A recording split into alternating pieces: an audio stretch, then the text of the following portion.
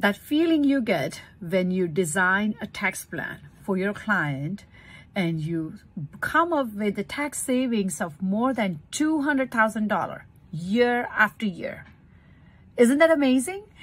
So I met with Laura, uh, I would say about a month ago. And, uh, you know, finally, uh, it took me about four or five weeks to design an actual tax plan. And the trickiest part of uh, designing this tax plan is she has her own business, her husband has uh, his own practice, and they have a little bit of a demanding family as well. And uh, just designing a tax plan that aligns well with her personal goal and business goal and goals of her family and the 501c3 that they want to set up as their philanthropy goal um, and designing a tax plan which will not only save them money on taxes, but also creates a tax-free cash flow for them to be able to invest in different retirement account and, you know, or, you know, save money for their philanthropy goal, uh, whatever it could be. So are you excited to see these results? Okay, so here it is.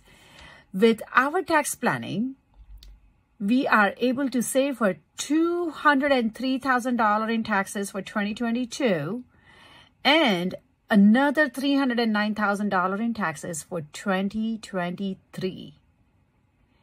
Between these two years, that's more than $510,000 in tax savings. What can you do with this money? If you had this money available for yourself or growing your business or for your family, a lot can be done.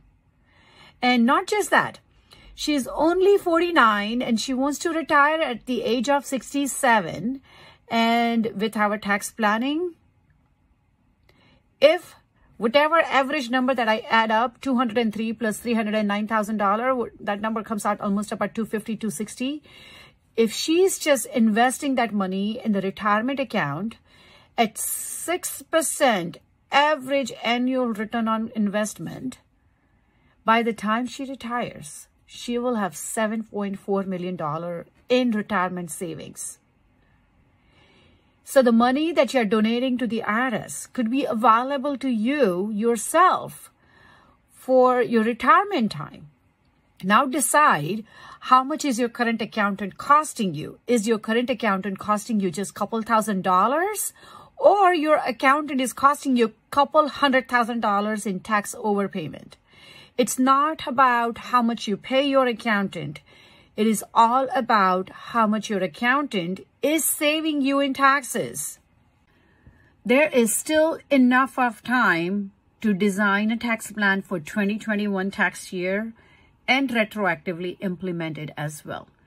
And if you have already filed your 2021 tax returns, then let's talk about 2022 and design a tax plan that is personally customized based on your personal requirement and your future goals, your business industry and whatever your business requirements are, and also staying within the IRS tax regulations and customizedly prepared for you.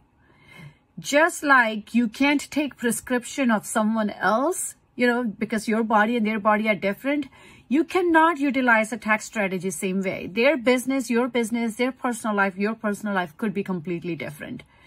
Let me know if you need any help designing a tax plan that will transform your life and your life of your family, dear ones, and your business and your team in a completely different way.